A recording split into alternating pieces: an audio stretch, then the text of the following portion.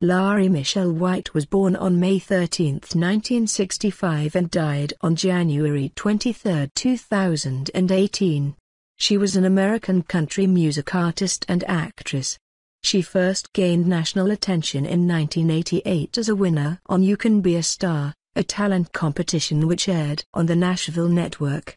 A recording contract with RCA Records Nashville followed a year later, producing three studio albums a greatest hits package, and several chart singles, with three of her singles having reached top 10, That's My Baby and That's How You Know, When You're in Love, at number 10, and Now I Know at number 5.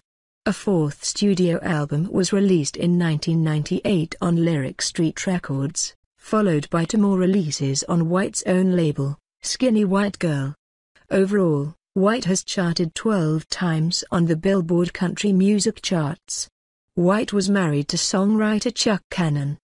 They had two daughters, M'Kenzy and Kyra Ciel, and a son, Jaxon.